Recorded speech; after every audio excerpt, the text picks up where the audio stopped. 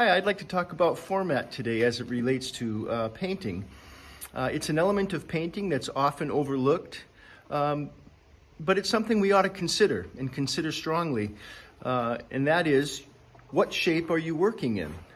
And how extreme is that shape? The landscape often presents itself to us in a horizontal format.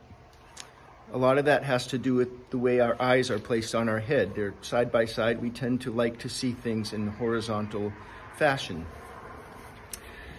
But what you might want to do is not just go with the standard sizes 8 by 10, 9 by 12, 12 by 16, and so forth, but maybe try a 1 by 2 format. And that's what this is right here.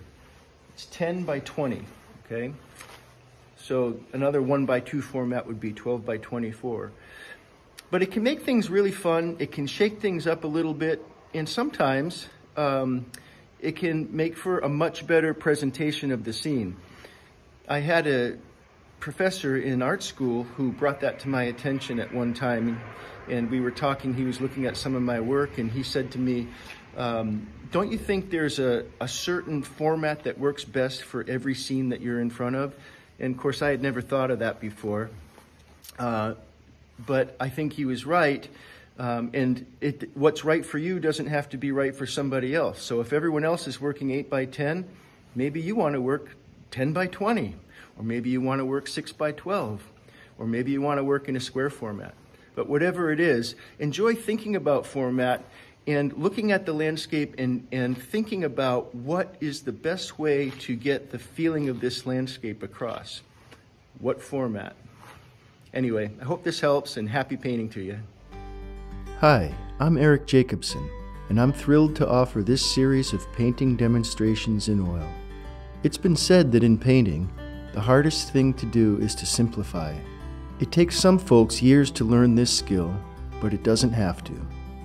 Join me as I demonstrate how you can create better, more bold paintings as you learn to see less. In this series of painting demonstrations, I will talk about how to learn to see big shapes in the landscape.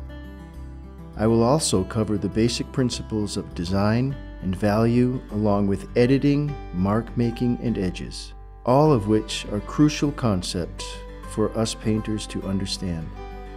In this series, I'll explain my color palette and talk about my choice of brushes as well as my painting surfaces. As a bonus, I will share insights and quotes from some of my painting heroes. I will also share my simple recipe for finding the right color. I think you'll find these videos to be helpful, as well as enjoyable to watch.